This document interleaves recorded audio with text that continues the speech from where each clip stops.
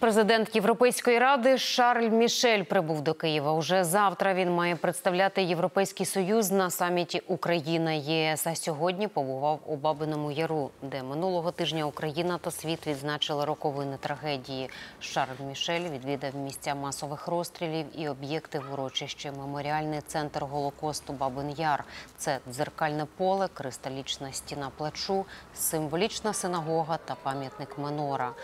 Уже завтра президент Євроради разом із президенткою Єврокомісії Урсулою фон дер Ляєн зустрінуться з українським президентом Володимиром Зеленським у рамках 23-го саміту Євро Україна Європейський Союз.